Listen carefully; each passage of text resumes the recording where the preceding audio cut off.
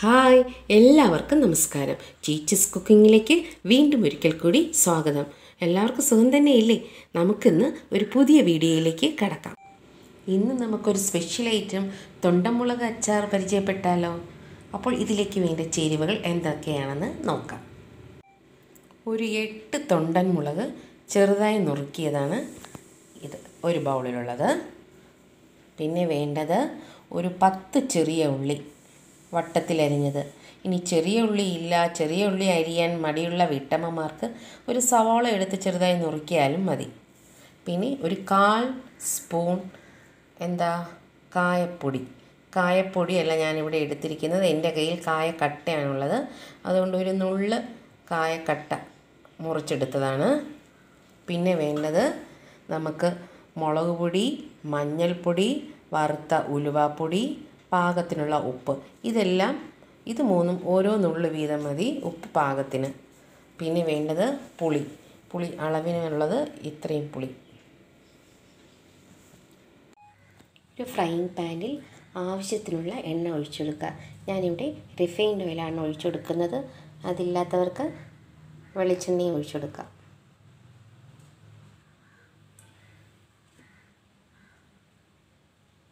ഇനി നമുക്ക് അടുത്ത പരിപാടി കടുക് വറുക്കാം ഒരു സ്പൂൺ കടുക് ഇടുക.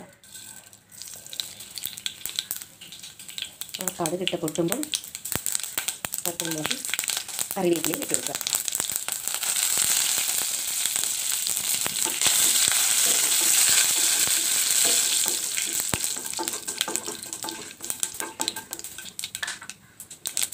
അരിഞ്ഞ് വെച്ചിരിക്കുന്ന ചെല്ലുള്ളി ആദ്യം കൊടുക്കണം.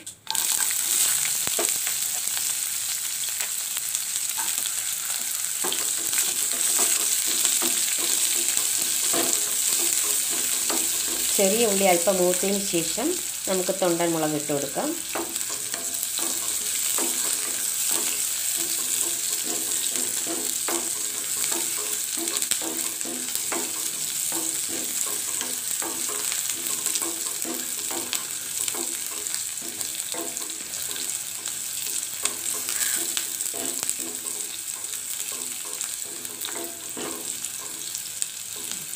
ചെറിയ നിറം മാറിയിട്ടുണ്ട്. ഈ സമയം നമുക്ക് തൊണ്ടൻ മുളക് ഇട്ട് കൊടുക്കാം.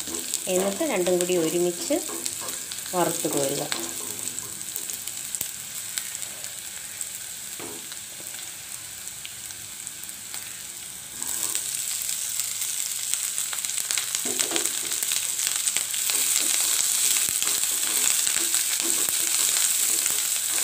മീഡിയം ഫ്ലെയിമിൽ വെച്ച് വഴറ്റിയാൽ മതിയാവും.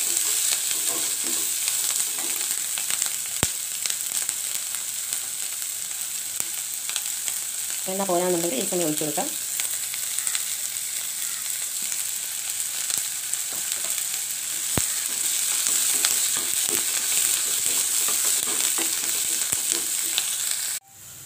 കണ്ടോ?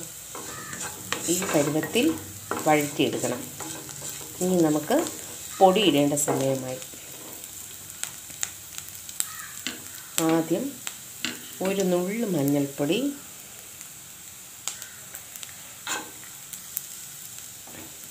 ഒരു നുള്ളു മുളക് പൊടി ഉപ്പ്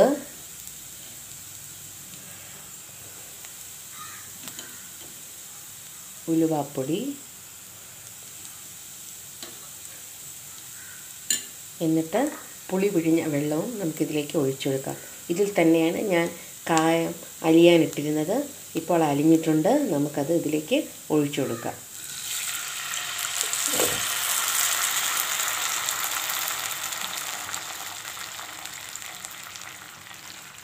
മല്ലിപ്പൊടി ആവശ്യമെന്നുള്ളവർക്ക് ഒരു കാൽ സ്പൂൺ മല്ലിപ്പൊടി ഈ സമയത്ത് ഇട്ട് കൊടുക്കാം. അത് ഓപ്ഷണലാണ് ഞാനിവിടെ ഇട്ട് കൊടുത്തിട്ടില്ല. അത് ആവശ്യമെങ്കിൽ ഇട്ട് കൊടുക്കാം. വെള്ളം ആവശ്യമാണെങ്കിൽ കുറച്ചുകൂടി വെള്ളം നമുക്ക് ഒഴിച്ചു കൊടുക്കാം. എന്നിട്ട് ഒന്ന് കുറുക്കിയെടുക്കാം.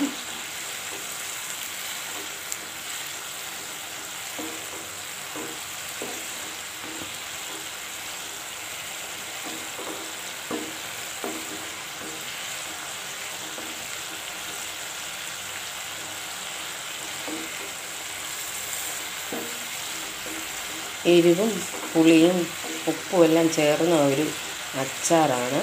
എന്നാൽ വലിയ എരിവൊന്നുമില്ല. തൊണ്ടൻ മുളകിന്റെ എരിവ് നിങ്ങൾക്കറിയാമല്ലോ അപ്പോൾ അത്യാവശ്യം അതിനുള്ള എരിവേ ഉണ്ടാവുള്ളൂ.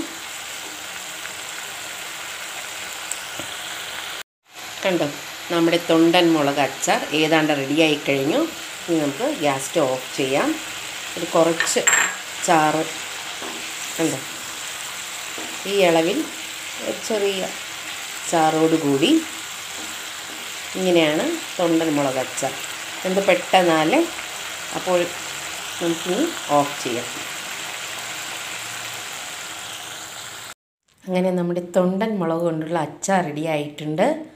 എല്ലാവരും ഇന്ന് തന്നെ ഇത് പരീക്ഷിച്ച് നോക്കണം. തൊണ്ടൻ മുളക് ഇല്ലാത്തവർ വാങ്ങിയിട്ട് പരീക്ഷിച്ചാലും മതി. അപ്പോൾ നമുക്ക് പെട്ടെന്ന് തയ്യാറാക്കാൻ പറ്റുന്ന ചിലവ് കുറഞ്ഞ ഒരു തൊണ്ടൻ മുളക് അച്ചാറാണ് നിങ്ങളിതുവരെ കണ്ടത്. അപ്പോൾ ഇനി പുതിയൊരു വീഡിയോയുമായി വീണ്ടും ഞാൻ നിങ്ങൾക്ക് ചേച്ചീസ് കുക്കിങ്ങിലൂടെ വരുന്നതാണ്. അതുവരെ എല്ലാവർക്കും ബായ് ഫ്രം ചേച്ചീസ് കുക്കിംഗ്.